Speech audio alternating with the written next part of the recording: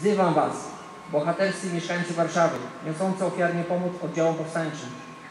Was wołam, zamordowani na ulicach swojego miasta, wypędzeni z domów rodzinnych, zgładzeni w obozach koncentracyjnych.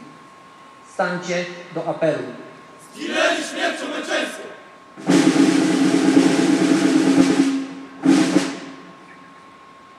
Wzywam Was, powstańcy warszawscy, których losy rzuciły z barykad do obozów niemieckich i koncentracyjnych.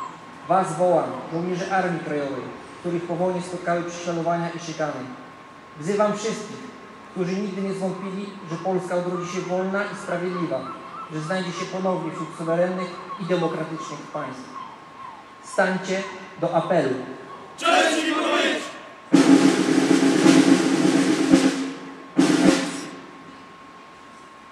Do Was wołam potomni. Pamiętajcie ofiary krwi i życia złożoną na ołtarzu ojczyzny przez powstańców warszawskich, którzy ponad miarę wypełnili swój obowiązek wobec ojczyzny.